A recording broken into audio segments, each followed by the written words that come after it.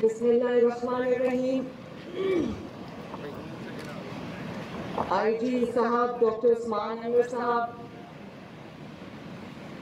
Commandant colonel Khalid साहब, additional IG elite police force doctor Waqar साहब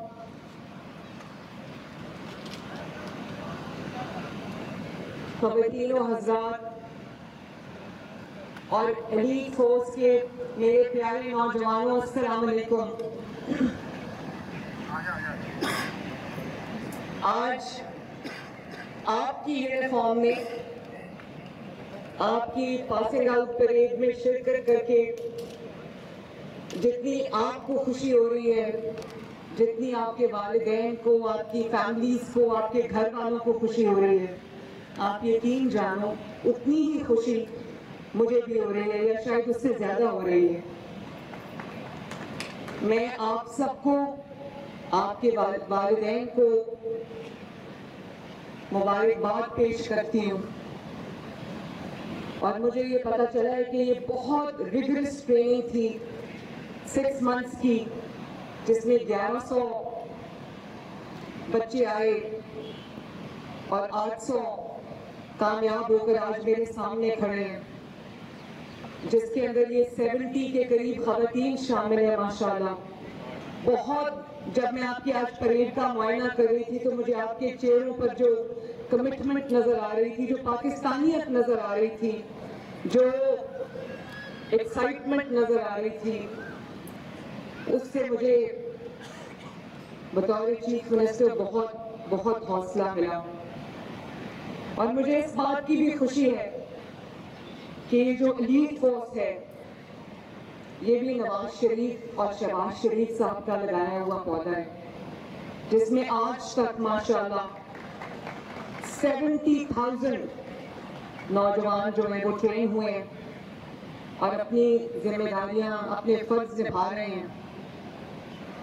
आज मैं आपके लिए, आपसे इजहार यकजहती के लिए और आपको ये बताने के लिए कि मैं आप ही में से हूँ।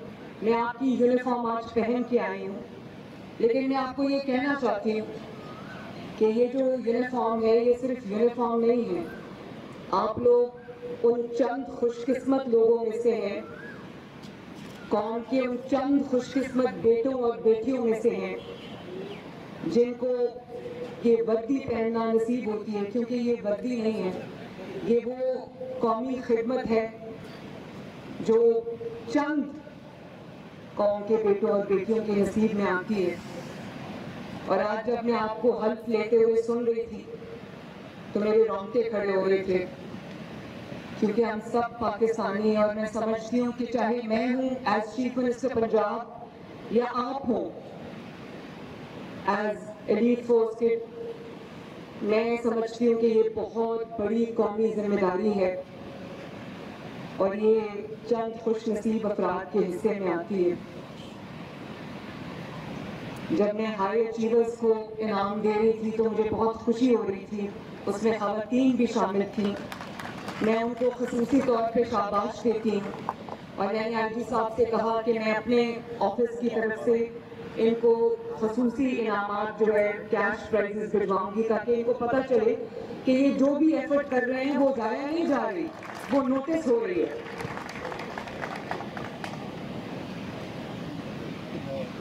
मुझे आज ये जान के खुशी हुई कि 860 जवान छह माह का अलीट कोर्स करके आज पास आउट हो रहे हैं। उसमें जैसे मैंने पहले कहा उसमें सत्तर खातन शामिल हैं। और मैं उन खातन को उन बच्चियों को, उन बेटियों को और उनके माँ बाप को मुबारकबाद देना चाहती हूँ। खसूसी तौर पर उनके माँ बाप और उनकी फैमिलीज़ को कि आपने अपनी बच्चियों पर एतमाद किया।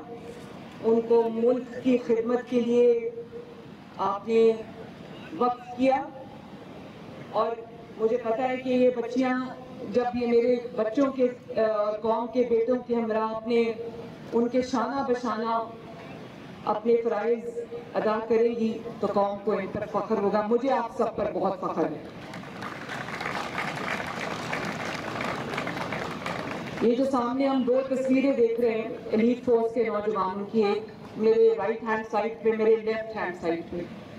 ये शुहदा की तस्वीरें और आप यकीन जानो कि जब भी मैं किसी शहीद को देखती हूँ, वो चाहे वो किसी भी फोर्स से हो तो मैं ये दिल में ज़रूर सोचती हूँ कि ये शहादत का जज्बा क्या जज्बा है, जिसमें माएँ अपने, माएँ वालदेन अपने बेटों को इस मिट्टी पे कुर्बान होने के लिए मैदान में उतार देते हैं। और वो बच्चे जो जाम शहादत नोश करते हैं, वो नौजवान, वो इस कौम के बेटे सपूत जो नौजवान अपने आप को इस वतन की मिट्टी के लिए हाजिर रखते हैं कि क्या जज्बा होता होगा? इस जज्बे को हम सलाम करते हैं। एलीट फोर्स के पचासी अफसर जाम शहादत नोश कर चुके हैं। मैं एलीट फोर्स के शहदा को और तमाम फोर्सेस के शहदा को मैं खराज अकीदत भी पेश करती हूँ और हम दुआ करते हैं कि अल्लाह ताला उनको बुलंद तरीन दर्जात से नवाजे। शहीद हमेशा कुरान कहता है कि शहीद ज़िंदा है और वो चंद खुश नसीब लोग होते हैं जिनको मौत के बाद भी ज़िंदगी मिलती है। हमें खबर नहीं होती, लेकिन वो ज़िंदा है। और मैं ये भी कहना चाहती हूँ कि आईजी साहब के साथ मेरा बहुत क्लोज कांटेक्ट रहता है। आईजी साहब एक बहुत मुतहरक बहुत एक्टिव बहुत कमिटेड आईजी हैं और जो तब्दीलियाँ पुलिस फोर्स में वो लेकर आ रहे हैं। मैं उनको इंकरेज भी करती हूँ, उनको सपोर्ट भी करती हूँ और बारहा उनको इस बात का एहसास दिलाती हूँ कि मैं उनकी फोर्स के पीछे, उनके पीछे मैं खड़ी हूँ।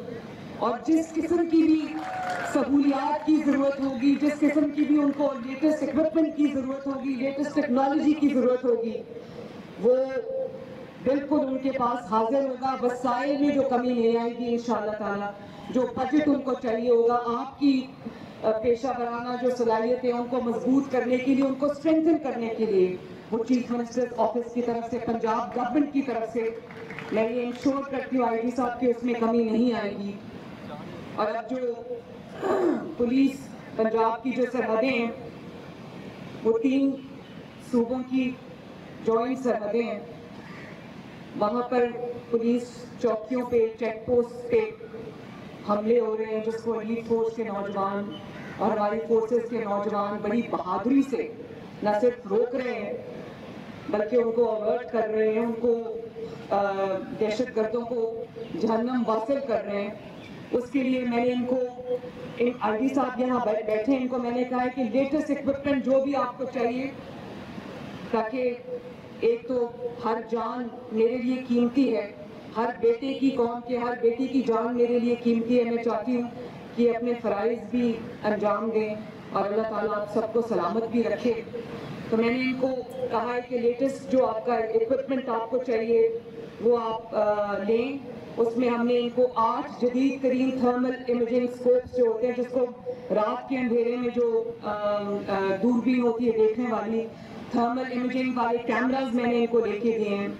और मैं इनको ये भी कह रही हूँ कि आपको जो गाड़ियाँ चाहिए जो बुलेट प्रूफ आपको अगर व्हीकल्स चाहिए अपने लोगों की जान बचाने के लिए तो आपको वसाइल में इंशाल्लाह कमी नहीं आएगी। आखिर में मुझे पता है आप लोग धूप में सुबह से खड़े हो और वेपन्स उठा के खड़े हो। ये कोई आसान काम नहीं है। मैं दो बातें आपसे कहना चाहूँगी कि ये जो वर्दी आज आपने पहनी है, मैं भी रोज वर्दी पहन के नहीं निकलती, लेकिन मुझे ज़िम्मेदारी का, जब मैं अपने घर से निकलती हूँ तो ज़िम्मेदारी का, अपने कंधों पर ज़िम्मेदारी का एहसास होता है। ये वर्दी जो है, ये एजाज के साथ साथ एक बहुत बड़ा इम्तहान भी है। और आज आपने जो ऊँट उठाया है, जो हल्फ उठाया है, उसमें आपने अल्लाह ताला को हाजिर नाजिर जानकर जो वादे इस कौम से किए हैं, इस वतन की मिट्टी के साथ किए हैं, इस कौम के साथ, इस पंजाब की आवाम के साथ, पाकिस्तान की आवाम के साथ आपने किए हैं, वो आपको निभाने हैं। जब आपको कोई मुश्किल दरपेश आए, आपके लिए कोई ऐसा फैसला हो जो मुश्किल हो तो आप अपने हल्फ की इन अल्फाज को याद करना, ये आपके लिए एक गाइडिंग प्रिंसिपल होगा, इंशाल्लाह। और मजलूम की दाद रसी मुझे आज ये खुशी है कि इतनी बड़ी तादाद में यंग एजुकेटेड ट्रेंड लोग जो है वो फोर्स में शामिल होंगे। आपके इस फोर्स में शामिल होने से एक मुझे तब्दीली नज़र आनी चाहिए। जब आपके पास एक मजलूम आए तो आपने अल्लाह ताला को हाजिर नाजिर जानकर उस मजलूम की दादरसी करनी है और इंसाफ के साथ खड़े और इंशाल्लाह वो वक्त दूर नहीं है जब पुलिस पर लगे हुए धब्बे हम धोएँगे और लोग अपने घरों में चैन से, नींद आराम से सुकून की नींद सोएँगे। ये हमारी ज़िम्मेदारी है, ये मेरी ज़िम्मेदारी है, ये स्टेज पे बैठे ऑफिसर्स की ज़िम्मेदारी है, आप सबकी ज़िम्मेदारी है। अल्लाह ताला हमें इन जिम्मेदारियों में कामयाब करे। अपने फ़राइज़ की जो बेहतरीन परफॉर्मेंस है, उसमें अल्लाह ताला हमें कामयाब करे। अल्लाह ताला आप सबका हामी और नासिर हो। एक दफ़ा फिर आपको और आपकी फैमिलीज़ को, आपके वालदेन को मेरी तरफ़ से बहुत बहुत दिली मुबारकबाद। एलीट फोर्स जिंदाबाद, पाकिस्तान पाइंदाबाद। शुक्रिया।